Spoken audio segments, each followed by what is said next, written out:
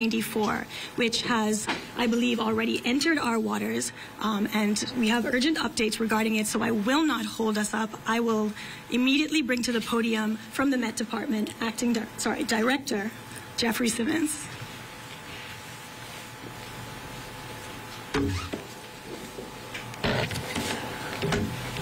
Good afternoon.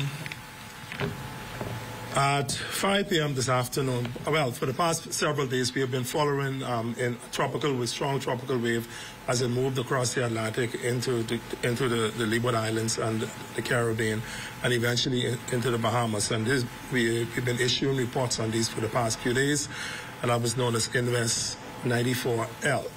So at 5 p.m. this afternoon, looking at our radar imagery along with satellite imagery and other observations, um, we realized that Invest 94L was gradually organizing and becoming, a, we've seen signs of a low-level circulation near eastern Cuba.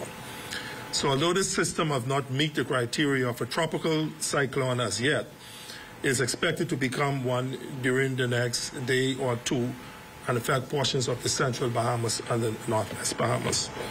So as we are, um, as we would usually do, we issue a tropical storm, a tropical storm warning for the central Bahamas and a tropical storm watch for the northwest Bahamas with the fact that this system will become a tropical depression sometime on Saturday and eventually a tropical storm on Sunday and move through the central and northwest Bahamas. So the system right now is moving toward the northwest, near 9 miles per hour. And a north-northwest motion is expected to, to continue for the next two days. Maximum sustainment right now is only 35 miles per hour, and some gradual strengthening. And the system is expected to become a tropical depression on Saturday and a tropical storm on Saturday night or Sunday. So residents in the central Bahamas should begin maybe asking residents in central Bahamas to be make preparation for the possibility of tropical storm force winds that could be impacting them in the next um, 36 hours. So those islands include San Salvador, Rum Cay, Cat Island, Exumas, and Long Island. And for the Northwest Bahamas, we are asking residents in those islands to begin preparation for tropical storm conditions um, that could impact them sometime on Sunday. So they include the, island of the islands of Eleuthera, New Providence, Grand Bahama, Abaco, and um, the Berry Islands. Because we expect this system to stay more on the eastern side of the country, we don't expect um, much activity to be happening in places like Andros and Bimini.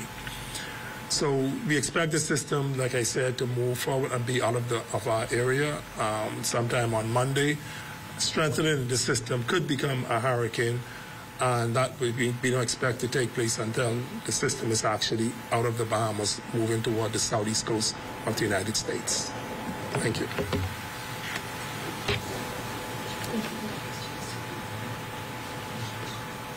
We'll hold questions. We'll hold questions. We'll hold questions until the end, if that's okay. We'll be very brief. Um, I now invite Minister Lundy, Minister Leon Lundy, um, with responsibility for disaster risk management from the OPM. Good evening, ladies and gentlemen. This evening, the realities of our geography are before us again. Threats come with the beauty of these islands, the price we pay for paradise, but we do not face them unprepared. As you have just heard from the Department of Meteorology, tropical disturbance AL94 is expected to strengthen into a tropical storm as it moves through the Bahamas over the next coming days. I will not repeat the technical details of the forecast, but I want to take this opportunity to speak directly to the Bahamian people about our national readiness. Since Wednesday and throughout the day to day, I have been in meetings with the Disaster Risk Management Authority and the Met Department, receiving continuous briefings. I can state with confidence that both agencies are fully mobilized and ready to respond. While there has been some uncertainty in the storm's development and strength, the government has not waited to act. We have been prepared behind the scenes for all contingencies.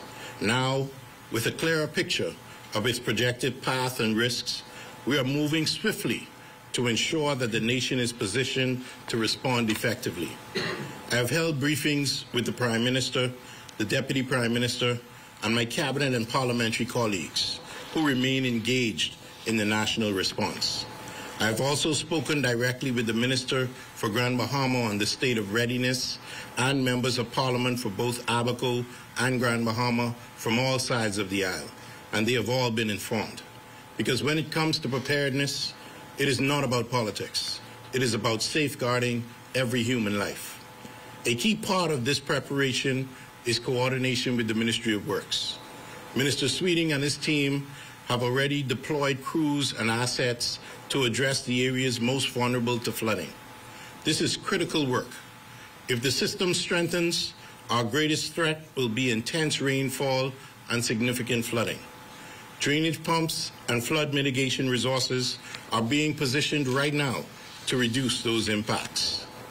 But government action alone is not enough. We need everyone to play their part. I am speaking to all residents on every island. Complete your preparations now. Secure your homes, check on your neighbors, and make sure your families are ready. Reliable guidance is available at our website, getready.gov.bs. And I cannot stress these two points. Please rely on information issued by the Department of Met, the DRM Authority, or trusted official news sources. And please heed any evacuation orders issued by authorities. As we face this system, let me reassure you, the government is fully engaged. Our agencies are prepared and our focus is unwavering. Preparedness is just not the responsibility of the government. It is the responsibility of the whole country. If each of us does our part, government, communities, and families together, we will weather this storm safely and in unity. Thank you.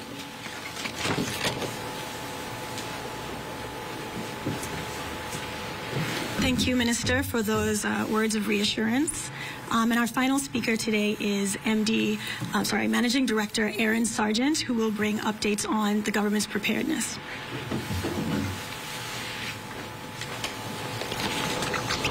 Uh, good evening, Bahamas, uh, members of the media, press who are here today. Thank you.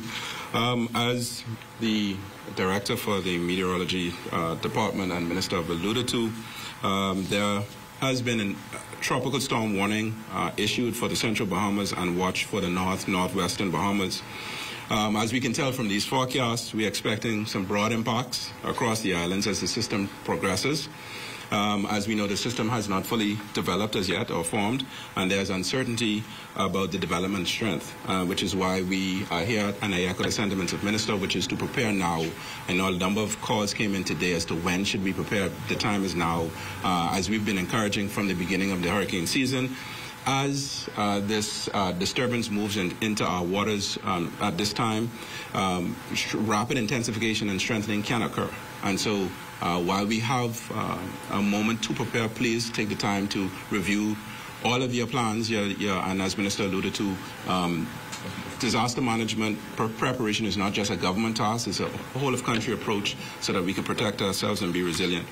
From the authorities' uh, perspective, we've done our uh, preparatory checks. Um, over the course of this week, we've conducted our communications tests, uh, in particular with the sat phones. I'm happy to note uh, one of the key things that we have been able to complete this year through the support of the U.S. Northern Command uh, is the procurement of sat phones, uh, new sat satellite phones for all of the administrators in the Family Islands. And those were tested today and are fully operational, which would allow administrators to stay in contact to provide us with situational awareness uh, should the need arise if commercial networks fail. Um, Family Island Incident Command Centers have completed their readiness checks and are prepared uh, to play their role uh, in response. Um, Additionally, as Minister alluded to, we, we've been briefing administrators over the last uh, 72 hours. Administrators have been on calls on multiple briefings with us to determine any challenges that may have arisen. At this stage, uh, there has not been a need to activate shelters. However, shelters on the islands are under alert and watch and stand ready to open should conditions require it. Uh, residents are encouraged, encouraged to identify the nearest shelters now and visit getready.gov.bs for the updated uh, shelter listing, the 2025 shelter listing, and for preparedness guidance.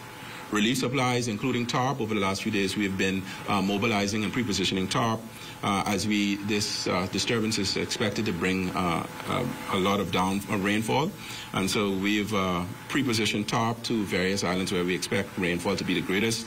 Um, in where we expect it to be the greatest. In terms of evacuation planning, um, we, the authority met with the administrators uh, to develop evacuation contingencies, in particular um, East Grand Bahama and parts of Abaco, where there may be challenges for residents uh, who may be in low-lying areas, and we're working to develop and finalize our plans. The administrators have pressed to uh, uh, put in place all of the necessary transport logistics components of being able to mass move uh, individuals.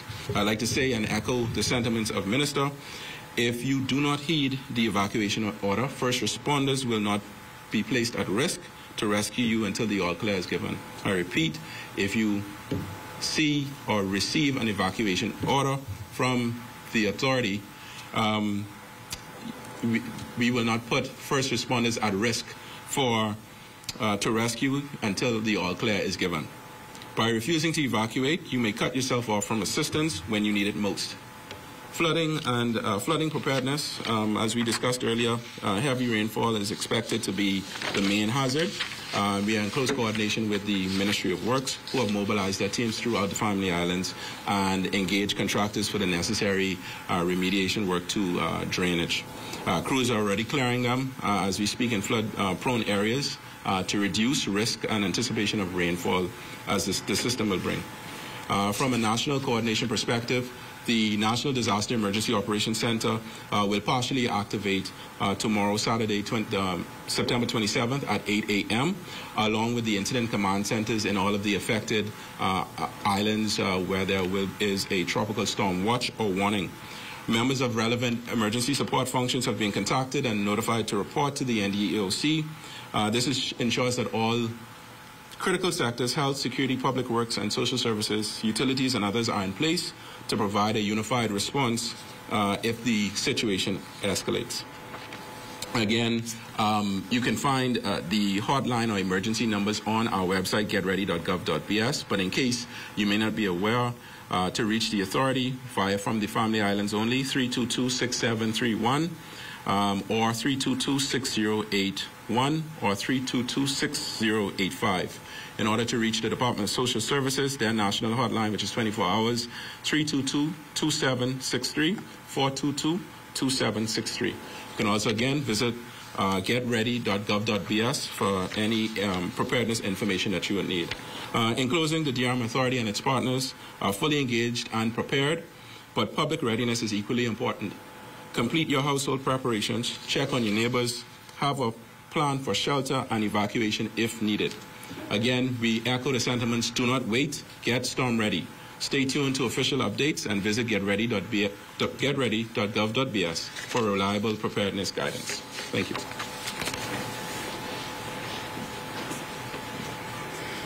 Thank you so much, Managing Director Sargent. And I just want to echo uh, what he said that a tropical watch is now in effect for northwestern Bahamas, and a tropical warning is now in effect for central Bahamas.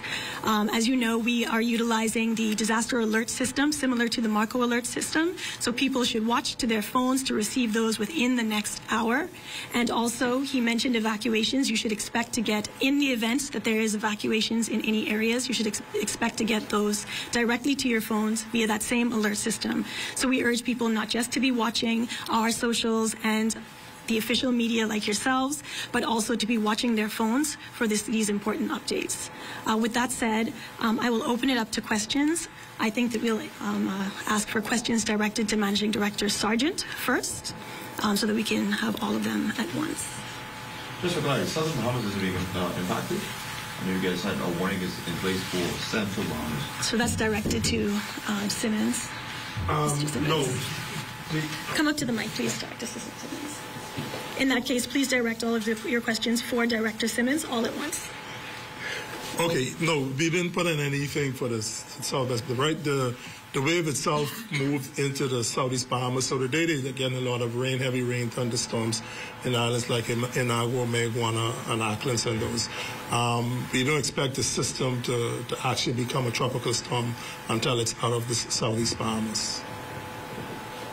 Once that happens, I know um, you all spoke about rain, but what other conditions can people expect, especially considering I know people have events going on, church on Sunday, things happening. Should they um, deviate from their usual weekend plans given the forecast?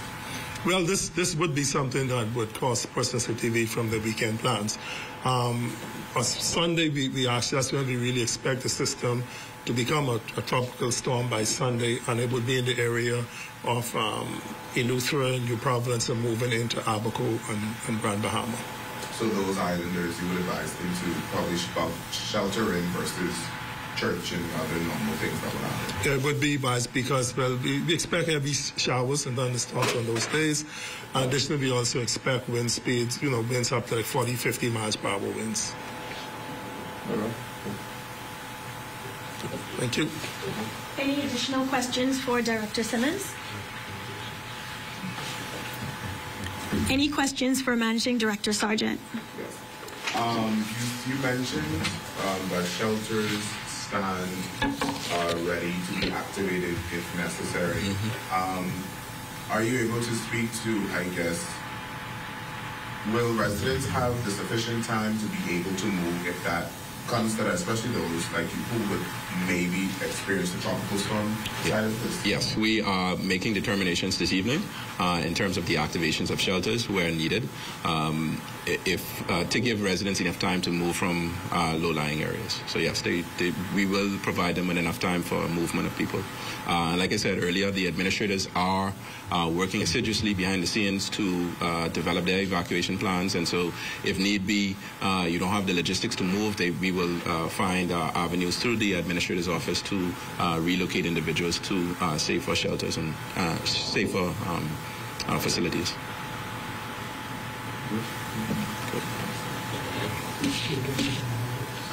Okay. Um, additionally, I'd just like to close by saying again, pay attention to the alerts. Evacuation orders will be given through the national alert system, uh, via SMS, via our socials, uh, via the, you, the media.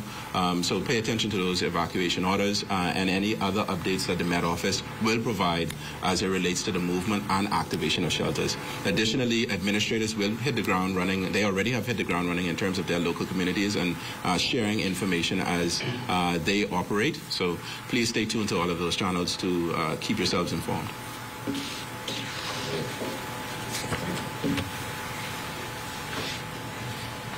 Are there any additional questions? If there are no additional questions, then I'll bring the press conference to a close. I want to say thank you to all of our speakers um, for your work. Thank you to everyone um, in the NDOC and all of the Family Island administrators and everyone who was involved in uh, getting us ready today. There has been a lot of work behind the scenes, and there will continue to be a lot of work to ensure that the country is ready for AL 94 as it develops. And I also want to thank the media. You are a crucial part of the ecosystem that keeps people informed during this time, which is important. So thank you, and Bahamas, stay safe, get ready. Thank you. Good night.